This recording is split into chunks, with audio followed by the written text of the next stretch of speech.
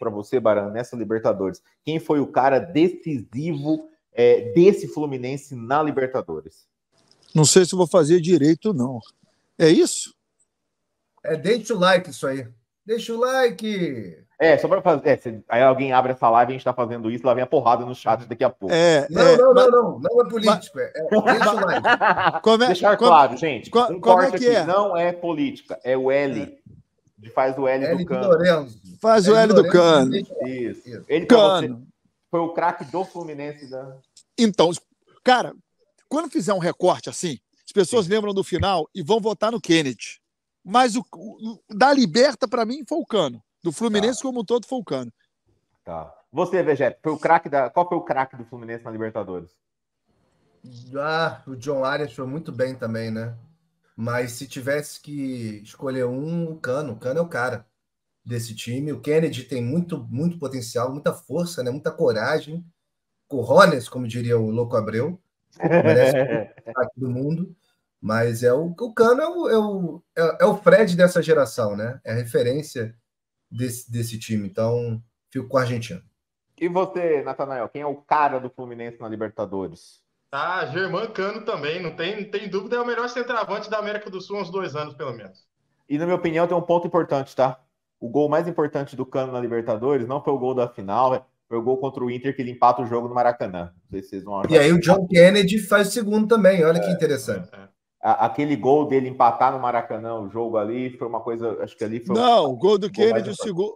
O segundo foi no Beira Rio. Foi no Beira Rio. É, Beira Rio. O, o, gol do, do, do, Cano de empatar o jogo no Maracanã, sim, ali sim. acho que foi é. o gol mais importante. Mas dele. ele não fez o gol de empate no Sul também? Não, foi o Kennedy, não foi? Não, foi o Cano.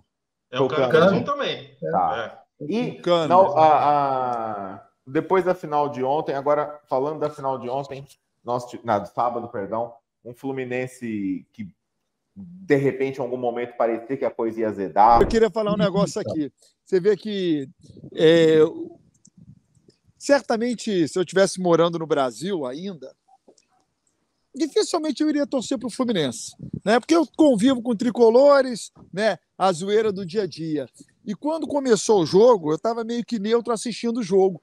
E aí, quando o Fluminense fez 1 a 0 eu falei com a minha esposa, é...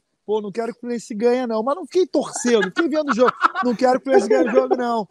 Que começou a florar os sentimentos. Aí empatou o jogo. E até ali eu fiquei, porra, tô vendo o jogo sem torcer, sabe? Vendo mesmo, mas não ver.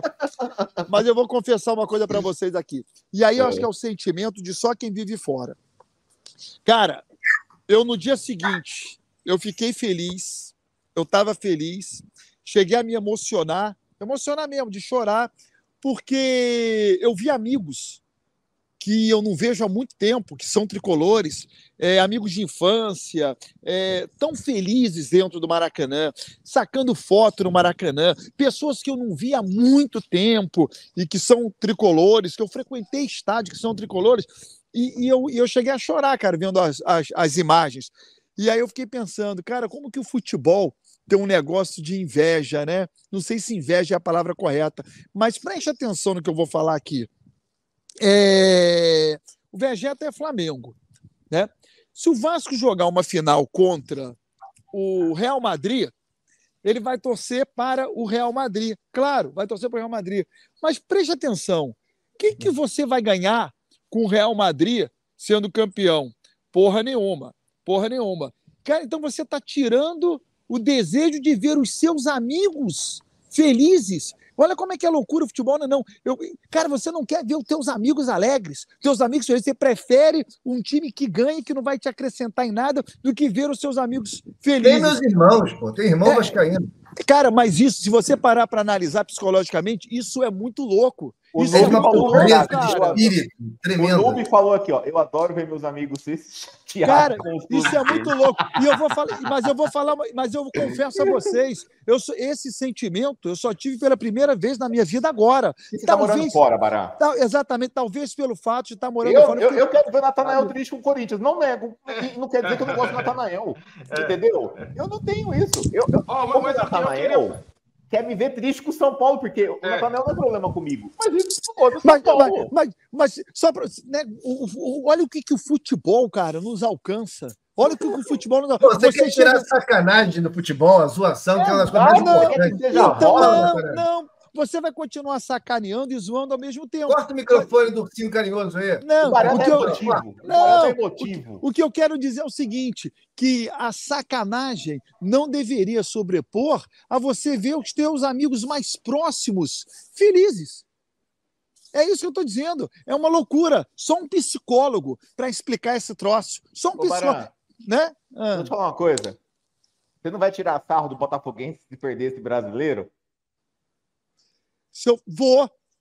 Vou. Agora, se o Botafoguense ganhar esse brasileiro, vai ser legal, emocionante, por dois, três dias. Se o Botafoguense mas, mas Edu, você vai zoar o resto da vida. Mas uma, coisa, é então, mas uma coisa não invalida a outra. Eu acho que eu vou ver, eu vou ficar mais feliz vendo uns amigos que eu não vejo há tanto tempo vivenciando um título de campeão brasileiro. Se perder, eu vou sacanear igual. Você tá fora do Brasil. Talvez.